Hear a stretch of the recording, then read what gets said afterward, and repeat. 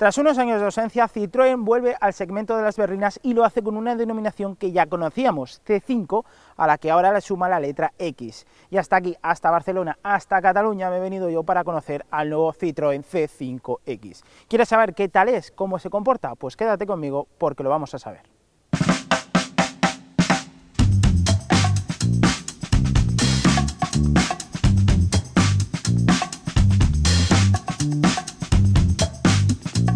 Dicen que las berlinas están muertas. Los sub han arrasado con todo lo que se han puesto por delante y no han dejado un solo sector por sacudir. Las berlinas generalistas han sufrido un importante retroceso en los últimos años, hasta tal punto que modelos como el todopoderoso Volkswagen Passat parecen estar viviendo sus últimos días a la venta. En este entorno tan delicado, el C5X de Citroën llega para decir que no todo está perdido. Y para ganar donde otros han perdido, pues el C5X apuesta por un diseño diferente, por salirse completamente de la norma de la categoría. Al fin y al cabo es una berlina, porque un sub no es, pero sí que tiene elementos típicos de un sub, como los plásticos negros recubriendo los pasos de rueda y también toda la parte inferior. Resulta incluso extraña la línea de su carrocería, porque, como podéis ver en la parte trasera, no podemos definirla como una berlina normal de tres volúmenes. En este caso se ha optado por un diseño que tampoco es un coupé, así que lo más próximo es decir que es un shooting brake. Hay que tener en cuenta que hablamos del modelo más grande de Citroën en nuestro mercado, dejando a un lado las furgonetas, claro. El C5X se extiende hasta los 4,8 metros de largo, 1,86 metros de ancho y 1,48 metros de alto, con una distancia entre ejes de 2,78 metros y un volumen de maletero de 545 litros de capacidad mínima, que son 485 para el híbrido enchufable. Ambas cifras pueden crecer hasta los 1.640 litros de capacidad máxima que resultan al abatir la segunda fila de asientos en su proporción 60-40. Solo el tiempo y las ventas dictarán sentencia sobre la puesta en escena tan especial por parte de Citroën. Lo que está claro es que hay que salirse de la norma porque al fin y al cabo repetir las mismas fórmulas de antaño ya sabemos las consecuencias que traen. El C5X se postula como una interesante opción para aquellos que no quieran sentirse culpables por abandonar el segmento de las berlinas, pudiendo decir a familias y extraños que ellos no conducen un sub. Es diferente y en materia de diseño y gustos no hay nada escrito al respecto.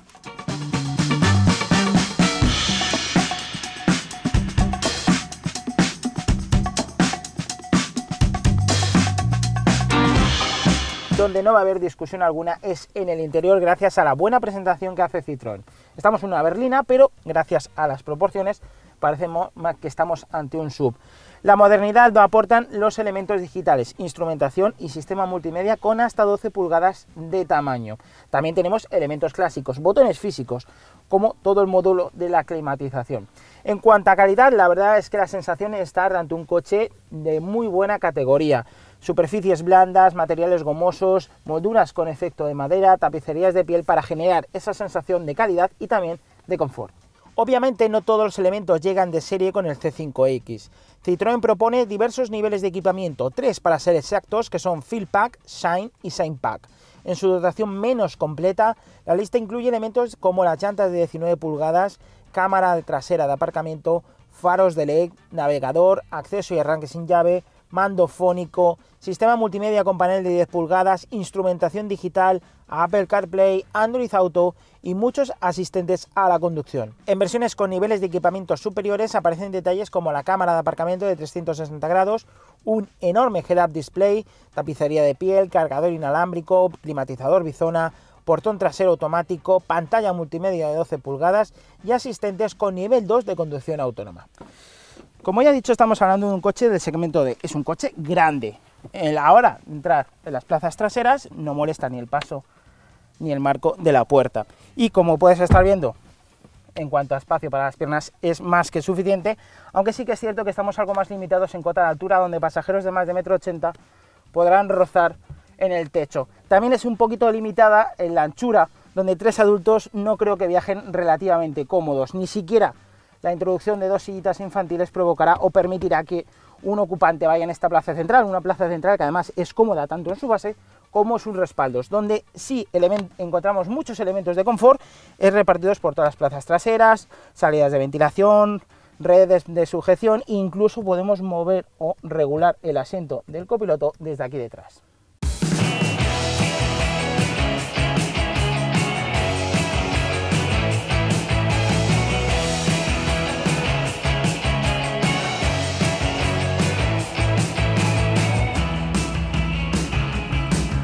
Cuando uno piensa en Citroën está claro que se presenta ante un coche muy cómodo. Y realmente el C5X es un coche muy muy cómodo, posiblemente el más cómodo dentro de su categoría. Está claro que Citroën ha apostado por un único objetivo y es el confort de marchas, aunque eso supone lastrar un poquito el comportamiento dinámico, pero tampoco pasa absolutamente nada porque al fin y al cabo las sensaciones de querer transmitir tanta suavidad de marcha que no buscamos prestaciones. Cada viaje se quiere hacer de la forma más confortable, más relajada y más tranquila posible y es algo que sinceramente yo valoro porque al fin y al cabo muchas otras berlinas generalistas buscan un equilibrio o buscan atraer a un cliente algo más intermedio, pero finalmente no contenta ni a un lado ni a otro. En este caso, el C5X claramente recuerda a las berlinas antiguas de Citroën como el CX o el C6, donde la comodidad es el único propósito.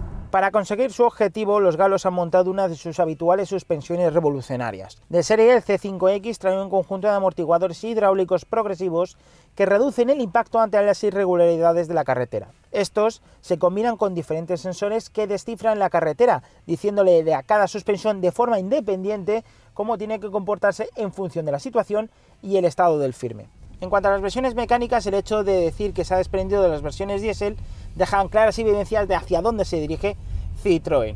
Qué tiempos aquellos, ¿no? En los que te podías dar el gustazo y comprarte un coche de gasoil. Pero bueno, al fin y al cabo, la versión es, o la gama actual del C5X presenta tres unidades, dos gasolina con 130 y 180 caballos, más luego un híbrido enchufable con 225 caballos.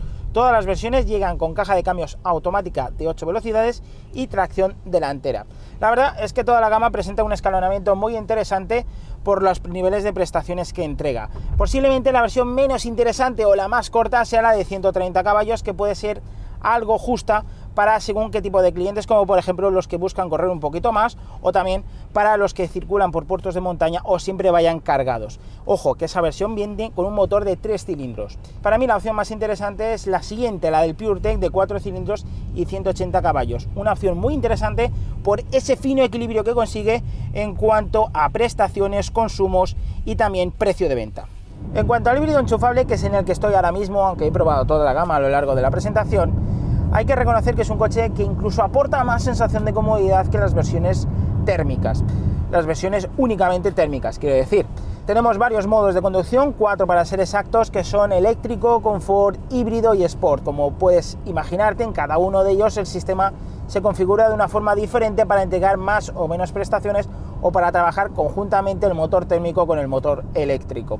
Además tenemos funciones interesantes como el modo B de la palanca de cambios en el que aumentamos la regeneración a la hora de levantar el pedal del acelerador o también podemos decirle al sistema que queremos salvar la batería en modo E-Safe en el que podemos decirle que o bien queremos salvar el estado actual de la batería o decir qué kilometraje queremos que se quede para llegado un momento poder tirar de él en el momento que nosotros queramos. El híbrido enchufable es el más potente, pero también el más caro. Su ventajosa etiqueta cero se consigue gracias a un motor de gasolina de 1,6 litros y 180 caballos que se acompaña de un motor eléctrico con 110 caballos y una batería con 9,9 kWh de capacidad útil. A máximo rendimiento genera una potencia de 225 caballos y 360 Nm de par, con una autonomía eléctrica en ciclo WLTP de 55 km con un consumo medio de 1,3 litros por cada 100 km con la batería cargada, eso sí.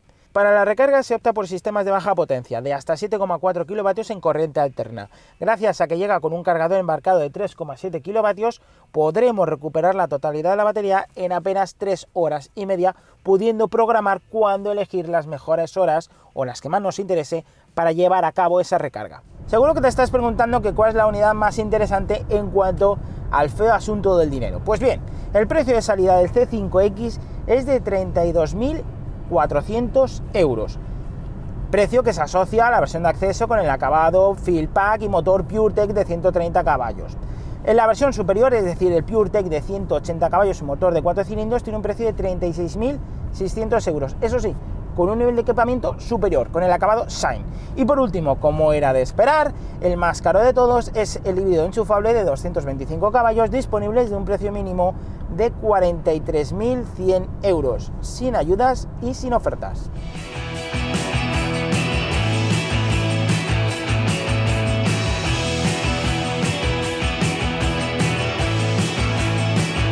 El C5X es una apuesta muy interesante para un segmento donde las ventas ya no son lo que era, al fin y al cabo. Tiene que luchar contra las modas para poder triunfar, pero el planteamiento es muy bueno. Al fin y al cabo, esto es lo que mejor ha sabido hacer Citroën siempre. Y esto ha sido todo, si te ha gustado el vídeo, pues ya sabes, dale a me gusta y déjanos un comentario con tu opinión acerca del nuevo Citroën C5X. Un saludo y nos vemos a la próxima.